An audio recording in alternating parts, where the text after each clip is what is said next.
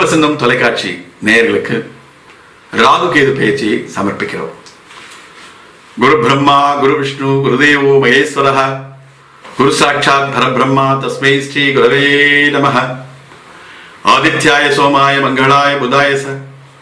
குரு சுக்கர சனிஷ்பியஸ்ய. ராகவே கேதவே நமோ நம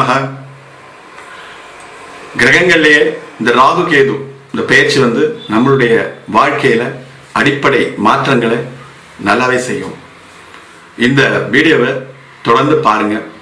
ஃபுல்லாக பாருங்க. முழுசாக பார்த்தீங்கன்னா தான் அதனுடைய ஃபுல் கான்செப்ட் உங்களுக்கு புரியும்.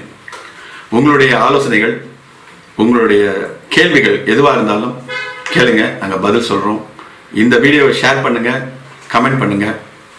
அடுத்ததா ரிஷபராசியை பற்றி பார்ப்போம். கிருத்திகை ரெண்டு மூணு நாலு பாதங்களும் ரோகிணி நான்கு பாதங்களும் மிருகசீரிஷம்.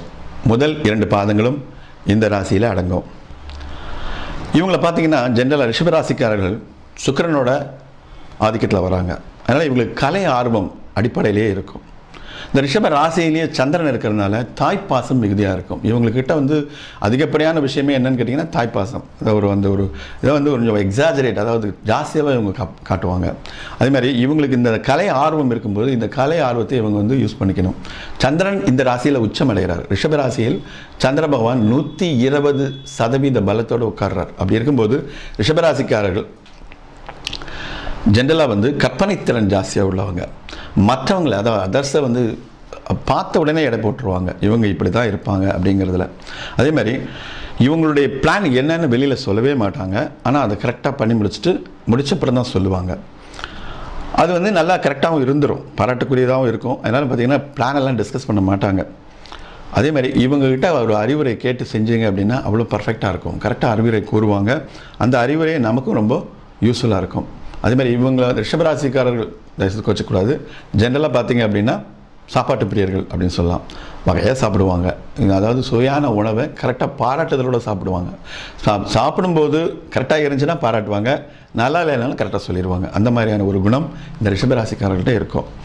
இன்னொன்று என்ன அப்படின்னா இவங்க வந்து தூக்கப்பிரியர்கள் பிரியர்கள். டாங்கரைக்கு மூலம் தூங்கிடுவாங்க. அதாவது நல்லா தூங்கணும் நல்லா சாப்பிடணும் அப்படிங்கிற ஒரு கான்செப்ட் உள்ளவங்க. அதே மாதிரி உழைக்கிறதுக்கும் ஐந்தா அஞ்சவே மாட்டாங்க. எவ்வளோ நேரம் வேணாலும் உழைப்பாங்க. இனிமையான பேச்சு இருக்கும்.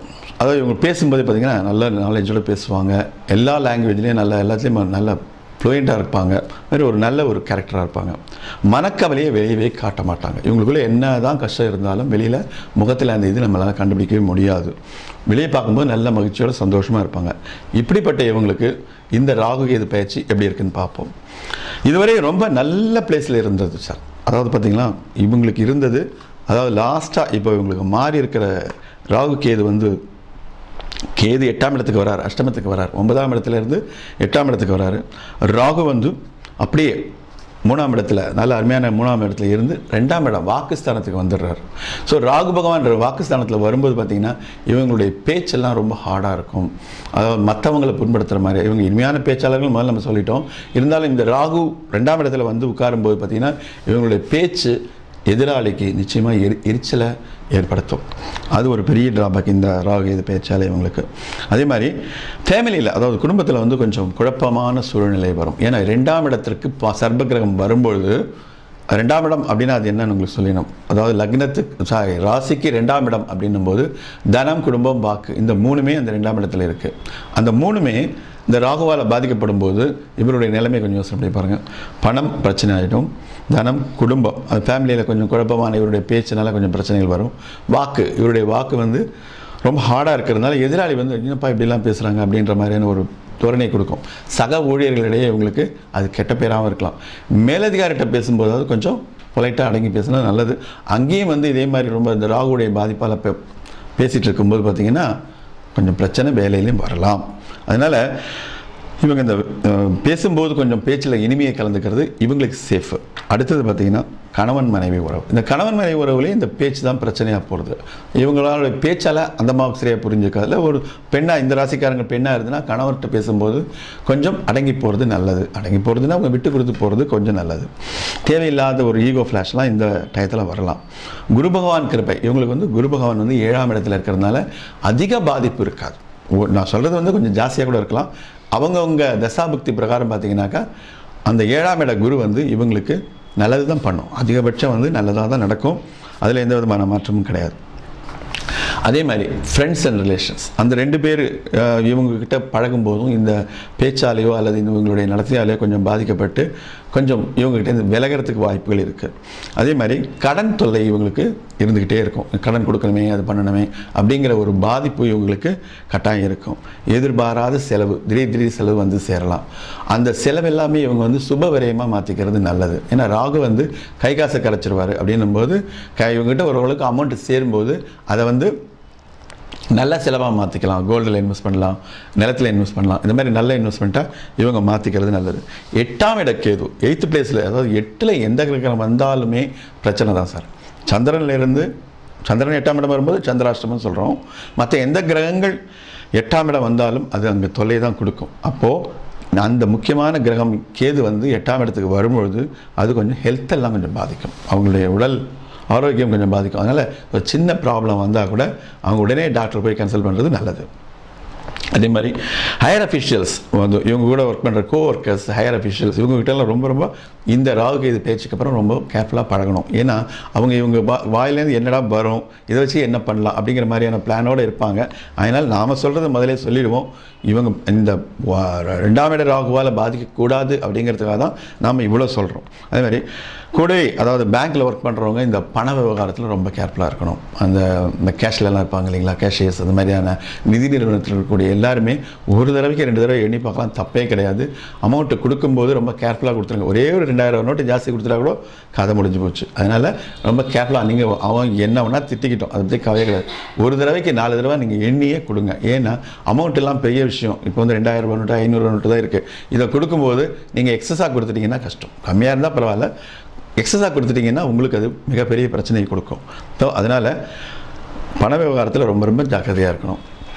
அப்புறம் வெளி அதாவது உங்களுக்கு வந்து ட்ரான்ஸ்ஃபர் வரலாம். ட்ரான்ஸ்ஃபர் இந்த இடம் விட்டு இடம் மாற்றும் போது அது சந்தோஷமாக ஏற்றுக்குங்க அது உங்களுக்கு மிகப்பெரிய உயர்வை கொடுக்க போகிறது அந்த ஒரு அந்த ஒரு விஷயம் இப்போ நடக்கும். பார்த்திங்கன்னா கூப்பிட்டு இங்கே அங்கே போங்க அங்கே அங்கே போங்க அப்படின்னு சொல்லும்போது அதை அப்போஸ் பண்ணாமல் மேலதிகாரிகளை எதிர்த்து பேசாமல் ஓகே சார் நான் போகிறேன் அப்படின்னு சந்தோஷமாக போனீங்க அப்படின்னா உங்களுக்கு அது மிகப்பெரிய உயர்வை கொடுக்க போகிறது அதேமாரி செய்தொழில் வியாபாரம். இது பார்த்தீங்கன்னா இதுவும் வந்து காம்படிஷன் இந்த இப்போ வர்க்க வேர்ல்டே பார்த்தீங்கன்னா காம்படிஷன் வேர்ல்டு தான். ஃபுல்ஃபில்லாக மொத்த மொத்தம் மொத்தம் வந்து போட்டி போட்டி போட்டி தான். அப்படியே அதனால் இருக்கிற நம்ம ஒரு ஒரு பொருளை வந்து நல்லா அழகாக விற்கிறோம் அப்படின்னா உடனே எதிர்க்க வந்து அதுக்குண்டான டூப்ளிகேட்ஸோ அதுக்குண்டான வேற ஒரு ஆல்ட்ரேஷன் பொருளோ தான் கம்மி விலைக்கு போடுவாங்க. அப்படி அந்த மாதிரி வரக்கூடிய காம்படிஷன் இவங்களுக்கு மிகப்பெரிய தொல்லையாக இந்த விஷயம் இருக்க போகிறது அதுக்கப்புறம் கவர்மெண்ட் அரசாங்க வழியிலையும் சில பிரச்சனைகள்லாம் வரலாம். அதனால் இவங்களுடைய கணக்கு வழக்குகளை ரொம்ப கேர்ஃபுல்லாக பார்த்து வச்சுக்கிறது ரொம்ப ரொம்ப நல்லது. ஏன்னா ரொம்ப எட்டாம் இடத்தில் இருக்கக்கூடிய கேது வந்து இந்த மாதிரியான ஒரு தொல்லைகளை எல்லாம் கொடுப்பார். அரசாங்க வழியில் இந்த கணக்கு பார்க்குறது இந்த இன்கம் டேக்ஸ் ப்ராப்ளம் இந்த மாதிரியான பிரச்சனைகள்லாம் வரலாம். கேட்ட இடத்துல கடன் வராது சார் பேங்க் லோன்லாம் போட்டிங்கன்னா இந்த நேரம் கொஞ்சம் நீங்கள் அடக்கி தான் வாசிக்கணும். ஆனால் அதே சமயம் ஏழாம் இட குருவும் அவருடைய அவர் பங்குக்கு என்ன பண்ண போகிறாருன்னு தெரியல. இல்லை இன்னொரு பெரிய ட்ராபேக் என்ன அப்படின்னா உங்களுடைய ராசிநாதன் சுக்கரன். அவர் வந்து அசுரகுரு. நான் சொல்லிகிட்டு இருக்க இந்த ஏழாம் இடத்து குரு வந்து தேவகுரு. இவங்க ரெண்டு பேருக்குமே ஃப்ளாஷ் ஆகும். சரியாக வராது. ஆக்சுவலாக அவங்க அந்த ராசிக்காரங்களுக்கு இந்த குரு வந்து நல்லது பண்ண மாட்டாருன்னு தான் சொல்லுவாங்க. ஆனால் அவர் இருக்க இடம் ஏழாம் இடம் அவர் பார்க்குற இடங்கள்லாம் சிறப்பாக இருக்கிறதுனால அதனால் சில நல்லவைகள் உங்களுக்கு வந்து சேரலாம். அதை வந்து சுய ஜாதகத்தை செக் பண்ணி பார்த்து தான் க்ளீனாக சொல்ல முடியும். அதே மாதிரி இந்த வருஷம் உங்களுக்கு வர வேண்டிய ஃபாரின் ஆர்டர்ஸும் கொஞ்சம் லேட் ஆகலாம். ஏன் அப்படின்னா இந்த அதே சம் அதே ரெண்டாம் இட ராகு எட்டாம் இட கேது உங்களுக்கு இந்த மாதிரியான பிரச்சனைகள் எல்லாம் உங்களுக்கு கொடுத்துக்கிட்டே இருப்பாங்க. அதே மாதிரி சரக்குகள் அதாவது நிறைய குடோனில் தேக்கி வைக்கிறது இந்த மாதிரியான பிரச்சனைகள்லாம் வந்து நீங்கள் வச்சுக்காதீங்க. உடனுக்குடன் எல்லாத்தையும் வித்துறது நல்லது. அது வந்து குடோனில் ஒன்றும் இல்லாமல் பார்த்துக்கிறது நல்லது. கலைஞர்கள். க கலைஞர்கள் அப்படின்னு பார்த்தீங்கன்னா சினிமா நடிகர்கள் மட்டும் இல்லை எல்லா விதமான கலைகளில் இருக்கக்கூடிய ட்ராமாவில் இருக்கக்கூடிய இசை நிகழ்ச்சியில் இருக்கக்கூடிய எல்லா கலைஞர்களுக்கும் இந்த காம்படிஷன்ஸ் நிறைய வரும். எல்லா இதுலேயும் போட்டிகள் பொறாமைகள் ஜாஸ்தி. அதனால் உங்களுடைய வாய்ப்புகளை உங்கள் கூடவே இருக்கக்கூடிய அனுகூல சத்துருன்னு சொல்லக்கூடிய மறைமுக எதிரிகள்னு சொல்லக்கூடிய உங்களுடைய நண்பர்கள் தான் தட்டி பறிப்பாங்க. நீங்கள் பார்த்தீங்கன்னா அவங்களுக்கு ரொம்ப க்ளோஸ் ஃப்ரெண்டு மாதிரி தெரியும். ஆனால் அவங்களுக்கு பின்னாடியே அவங்க குழி நோண்டிகிட்டே இருப்பாங்க. அந்த மாதிரியான பிரச்சனைகள்லாம் நீங்கள் இப்போ கண்டுபிடிப்பீங்க. இவன் யார் இவன் என்ன அப்படிங்கிறதெல்லாம் உங்களுக்கு வந்து இந்த ராகு காட்டி கொடுத்துருவாரு. அதே மாதிரி எட்டாம் இட கேதுவும் அவங்கள பற்றின எல்லா விஷயத்தையும் உங்களுக்கு காமிச்சு கொடுக்கறதுக்கு வழி இருக்குது ஆனால் ஒரு சிலருக்கு தேவையில்லாத வீண் பழி வரும். அதாவது அந்த பிரச்சனையில் வந்து இவங்க இருந்திருக்கவே மாட்டாங்க. ஆனால் இவங்க இவங்க இருந்தால் ஸ்க்ரீன் கிரியேட் பண்ணி இவங்களை வந்து டார்கெட் பண்ணுவாங்க. அந்த மாதிரியான பிரச்சனை வரும். கோர்ட்டு கேஸ் இந்த மாதிரி ப்ராப்ளம்ஸும் இப்போதைக்கு முடியாது. அப்படிங்கிறதுக்கு தான் போகும். மொத்தத்தில் பார்த்தீங்கன்னா மணி டிமாண்ட் அதாவது பண முடை அப்படிங்கிறது ரொம்ப ரொம்ப சாதாரணமான விஷயம். ரெண்டாம் இடத்துக்கு ராகு வரும்பொழுது நீங்கள் தான் அதுக்கு தகுந்த மாதிரி உங்களுடைய சேவிங்ஸை இன்க்ரீஸ் பண்ணிக்கணும். அரசியல். அரசியல்னு பார்த்தீங்கன்னா அதுவும் இந்த இடத்துல இந்த நேரத்தில் உங்களுக்கு அவ்வளோ நல்லதாக சொல்ல முடியல. ஏன்னா ரே ரெண்டாம் இடத்துல வாக்குஸ்தானம்னு சொல்லிட்டேன். அப்போது அரசியல் அப்படின்னாலே வாக்கு தான். எல்லாமே பேச்சு தான். பேச்சை வச்சு தான் இவங்க பிழைக்கிறது அப்போது அந்த பேச்சை இவங்களுக்கு எதிராக வரும்போது பார்த்திங்கன்னா மேலிடத்தில் கெட்ட பேர் வரும். இந்த பேச்சை வந்து ஒன்றுக்கு ரெண்டாக போட்டு விட்டு உங்களுடைய இடத்தையே காலி பண்ணிடுவாங்க. அதனால் உங்களுடைய பேச்சில் இனிமை இருக்கணும் சாமர்த்தியம் இருக்கணும். அதே சமயத்தில் சாதுரியமாகவும் நீங்கள் பிழைக்கணும். ஸோ அரசியலில் வெற்றி பெறணும் அப்படின்னா முதல்ல உங்களுடைய வாக்கில் பேச்சில் வந்து இனிமையை கலந்துக்கணும். அதுக்கப்புறம் பார்த்திங்கன்னா ரொம்ப ஹார்ட் ஒர்க் பண்ணி ரொம்ப செலவு பண்ணி அதெல்லாம் பண்ணால் தான் இந்த வர- இந்த வரப்போகிற எலெக்ஷன்ஸ் எதில் நீங்கள் இன்டர்வியூர் ஆகிறதா இருந்தாலும் சக்ஸஸ் பண்ண முடியும். அப்படி இல்லாத பட்சத்தில் சாரி நீங்கள் ஒதுங்கி இருக்கிறதே நல்லது. ஏன்னா இந்த நேரத்தில் ராகு கேது வந்து உங்களுக்கு ஃபேவராக இல்லை. அரசியலுக்கு மெயினாக தேவை வந்து சூரியனும் ராகுவும்.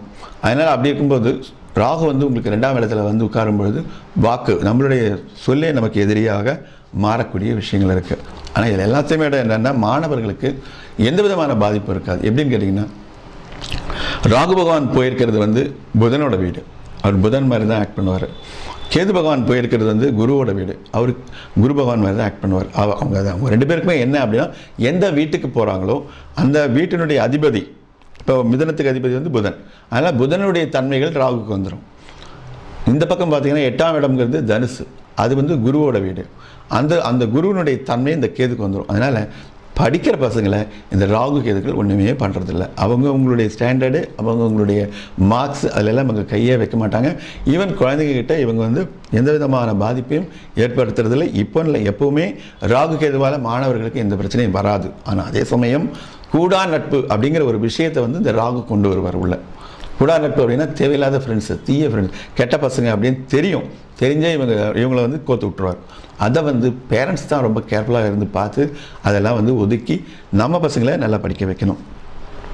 ஸோ ஜென்ரலாக பார்த்தீங்கன்னா இவங்க டே அண்ட் நைட் உட்காந்து படித்து ரொம்ப ஹார்ட் ஒர்க் பண்ணால் தான் இந்த வருஷத்துலேயே நல்லா மார்க் ஸ்கோர் பண்ண முடியும். அதே மாதிரி வெளிநாட்டுக்கு போய் படிக்கணும் அப்படிங்கிறதுக்கும் கொஞ்சம் பிரச்சனை இருக்கத்தான் செய்யும். அதையும் நம்ம பொறுமையாக தான் ஹேண்டில் பண்ணணும். ராகுவால் செலவு அதிகமாகும் அப்படின்னு சொல்லிட்டோம். கேது வந்து அதை இழுத்து பிடிக்கிறதுக்கு அதாவது சேமிக்கிறதுக்கு கற்று தருவார். இதுதான் மெயினான கான்செப்ட் ஒரு சிலருக்கு பார்த்தீங்கன்னா திடீர் திடீர்னு ஒரு மன சோர்வு வந்துடும் ஒரு மாதிரியான பயம் வரும். அந்த மாதிரியான நேரமும் இப்போ ஆரம்பிக்கும். ஏன்னா ஒன் எட்டாம் இடத்தில் இருக்கக்கூடிய கேது பகவான் வந்து உங்களுக்கு அந்த மாதிரியான சோர்வுகளை கொடுப்பார். அதே மாதிரி கெட்ட சகவாசம் அப்படின்னு தெரிஞ்சாலே இந்த நேரத்தில் நீங்கள் யாரையுமே கேன்சல் பண்ணுவாங்க நீங்களே ஜன் ஜென்ரலாக முடிவெடுத்து அவங்கள ஒதுக்குறது ரொம்ப ரொம்ப நல்லது. ஏன் அப்படின்னா கெட்ட சகவாசலத்தில் உங்களுக்கு வந்து அந்த இந்த ராகு கேதுக்கள் வந்து நான் சொன்னேன் உங்களுக்கு. மேக்சிமம் உங்களை வந்து சோதிக்கிறதுக்கு உண்டான கிரகங்கள். அப்போ கெட்ட சகவாசத்தில் நம்ம கெட்டது பண்ணும்போது அது மாணவர்களாக இருந்தாலும் சரி அரசியல்வாதிகளாக இருந்தாலும் சரி கலைஞர்களாக இருந்தாலும் சரி கூட இருந்தே கெட் கெடுக்கிறது தான் இந்த கெட்ட சகவாசம். அதனால் இந்த கெட்ட சகவாசத்தெல்லாம் இந்த நேரத்தில் ஒழிக்கணும். பெண்களுக்கு அப்படின்னு பார்த்தீங்கன்னா பெண்களுக்கும் இந்த வருஷம் வந்து கொஞ்சம் சோதனையான இந்த ராகு கேது பேச்சு தான். ஏன்னா ஜென்ரலாகவே அவங்க வந்து கொஞ்சம் செலவை கொஞ்சம் குடும்பத்துக்கு சாதகமாக பண்ணணும். அந்த செலவை வந்து ஆடம்பர செலவை பண்ணிட்டாங்க அப்படின்னா பணமுடை ஏற்படுறதுக்கு உண்டான வாய்ப்புகள் அதிகமாக இருக்குது அதுமாரி ஆஃபீஸ்க்கு ஆஃபீஸ் போகக்கூடிய பொம் பெண்களுக்கும் மேலதிகாரிகளால் சில பிரச்சனைகள் வர வாய்ப்பு இருக்குது ஏன்னா இவங்களுக்கு வந்து அந்த வாக்குஸ்தானத்தில் இருக்கக்கூடிய ராகு வந்து இவங்களை சும்மா இருக்கக்கூடாது. எதையாவது ஒன்று சொல்லிடுவாங்க அது வந்து அவங்க மேலதிகாரிகள்கிட்ட தப்பாக போய் சொல்லிடுவாங்க அப்படி சொல்லும்போது அவங்க கூப்பிட்டு கேட்கும்போது இவங்க அதை ஒத்துக்கிட்டு சாரி சார் சொன்னால் பரவாயில்ல. இவங்களும் ஆர்கியூ பண்ணாங்கன்னா அதுக்கு தகுந்த பிரச்சனைகள் வரத்தான் செய்யும். அதனால் பெண்களை பொறுத்த வரைக்கும் சிக்கனத்தை கையாள்வது ரொம்ப ரொம்ப நல்லது. இதுக்கு பரிகாரம் அப்படின்னு சொன்னீங்கன்னா சனிக்கிழமையும் செவ்வாய்க்கிழமையும். ராகு பகவானுக்கு செ- சனிக்கிழமையும் கேது பகவானுக்கு செவ்வாய்க்கிழமையும் விசேஷம். அந்த நேரத்தில் வீட்டிலேயே நல்லெண்ணெய் தீபம் போட்டு வணங்கலாம். ஸோ ராகு கேது படங்கள் இருக்காது. சிவபெருமானுக்கும் முருகனுக்கும் போட்டாலே போதும். காளாஸ்திரி சிவ தரிசனமும் பத்ராச்சலம். பத்ராச்சலம் போய் ராமரை தரிசனம் பண்ணி ஒரே ஒரு வாட்டி பண்ணால் போதும். இந்த ராகுகேது பயிற்சிக்கு அப்புறம் ஒரே ஒரு தடவை இந்த ரெண்டு தெய்வங்களையும் தரிசனம் பண்ணிட்டு வர்றது நல்லது. சனிக்கிழமை தோறும் அதாவது எவ்ரி சாட்டர்டே பன்னெண்டு சுத்துக்கள். ஒரு நல்ல பசுமாட்டை வச்சு அதுக்கு பூஜை பண்ணிவிட்டு பன்னெண்டு தடவை சுற்றி வந்தீங்கன்னா ராகு கேதுவால் வரக்கூடிய இந்த பிரச்சனையும் பாதிக்கு பாதி குறைஞ்சிடும் சார். உண்மையிலே இது கை வந்து ப்ராக்டிக்கலாக பண்ணி பார்த்த ஒரு விஷயம். நல்ல பசுவுக்கு சனிக்கிழமை காலையில் அகத்திக்கீரையோ அருகம்புல்லோ கொடுத்து அதுக்கு நல்ல சாதாரண கீரை கூட கொடுக்கலாம். அருகம்புலுக்கு அஹ், அகத்திக்கீரை கிடைக்கலன்னா சாதாரண கீரை இது மாதிரி நல்லதாக வாங்கி வச்சுட்டு காய்கறியெல்லாம் வாங்கி வச்சுட்டு அரிசியில் வெல்லம் கலந்து அது கொடுத்துட்டு அதுக்கு நல்லா பூஜை பண்ணிவிட்டு பன்னெண்டு தடவை சுற்றணும் பன்னெண்டு தடவை சுற்றி வந்தீங்க சுற்றி வந்துட்டு நமஸ்காரம் பண்ணிட்டீங்க அப்படின்னாலே இந்த ராகு கேதுவால் வரக்கூடிய எந்த பிரச்சனையும் பாதிக்கு பாதியாக குறைஞ்சிடும் தொடர்ந்து பார்ப்போம். கிரகங்கள்லேயே இந்த ராகு கேது இந்த பயிற்சி வந்து நம்மளுடைய வாழ்க்கையில் அடிப்படை மாற்றங்களை நல்லாவே செய்யும். இந்த வீடியோவை தொடர்ந்து பாருங்க. ஃபுல்லாக பாருங்க. முழுசாக பார்த்தீங்கன்னா தான் அதனுடைய ஃபுல் கான்செப்ட் உங்களுக்கு புரியும். உங்களுடைய ஆலோசனைகள் உங்களுடைய கேள்விகள் எதுவாக இருந்தாலும் கேளுங்க. நாங்கள் பதில் சொல்கிறோம் இந்த வீடியோவை ஷேர் பண்ணுங்கள் கமெண்ட் பண்ணுங்கள்